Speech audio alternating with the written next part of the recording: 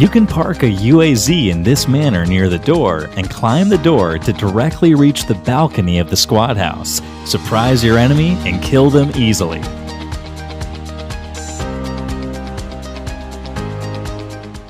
Containers present towards the right of Novo in this manner. You could also go in here and wait for your enemies to kill them easily.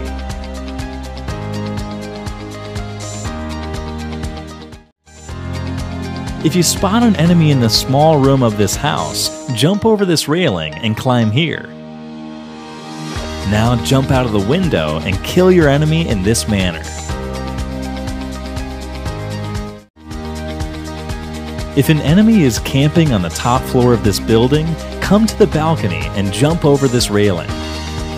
Now climb over the roof. Once you're above the roof, Position yourself like this and jump horizontally to land over here. Surprise your enemy from behind and kill them. After the new update, footprint marks and vehicle tire marks have been added to Vikendi.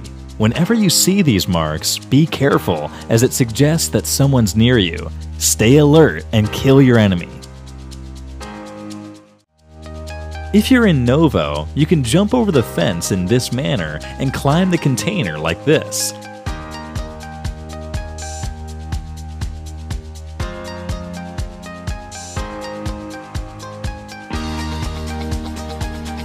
Now jump over here to get a clear view of your surroundings.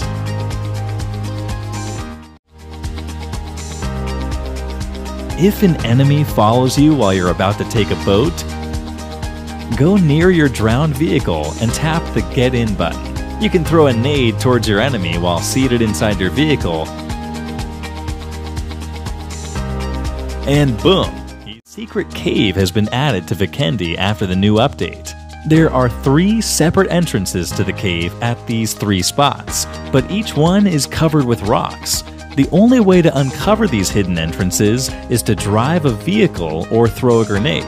It has lots of loot inside, so make sure to check this location out the next time you play Vikendi. Secret spots near the Milta factory. Number 1. Climb over this grill and jump over here to hide yourself. Number 2. Jump over here and walk along these railings. Now hide yourself here to take advantage over your enemies. If you want to pick a grenade while playing a TDM, go close to the container. Now turn around and jump. Tap quickly to get the grenade. Never climb over the container to take the grenade, as you could be killed easily. In a death match, you can tap here to check the stats of both the teams. As soon as you enter a TDM, quickly go towards the center and pick up the M249 and walk back towards your spawn area. As soon as you reach the spawn area, drop the gun.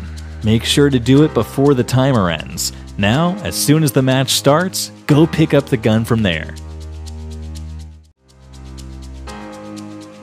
You can climb this tower in Novo like this, and jump over here to hide yourself. As soon as the enemy comes near you, stand and shoot. There are four melee weapons in the game, namely the pan, sickle, crowbar, and the machete.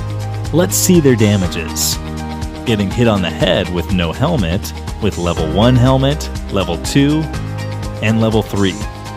Getting hit on the body with no vest, with level 1 vest, level 2, and level 3. You can crouch near the stairs of the squad house and move towards this wall to see through it. Once you know your enemy's position, go and kill them easily. While gliding, when you press the unfollow button, you often lag behind your teammates by a short distance. Here's a trick to solve it. Just move your cursor in the forward direction and then click on the unfollow button. This time you won't lag behind. Now let's talk about grips. Vertical grip.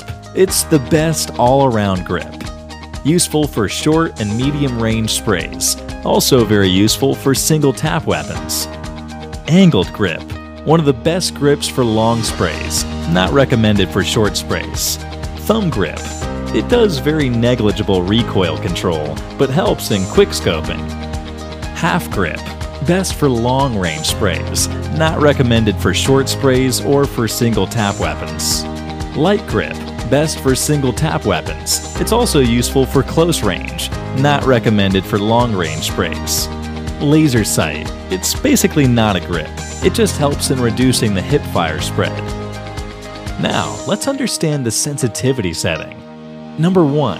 Free look camera sensitivity. It's basically the sensitivity of the eye button over here. Number 2. Camera sensitivity. It's basically the sensitivity of your screen movement. Number 3. ADS sensitivity. It's basically the sensitivity during fire. Number 4. Gyroscope sensitivity. It's basically the tilt sensitivity which works when you tilt your device. Here's a fun tip drown a vehicle into water. Press the exit button and then tap get in. Now switch your guns and try tapping on the shoot button while switching. The bullets won't go past the water. You could do this to surprise your teammates.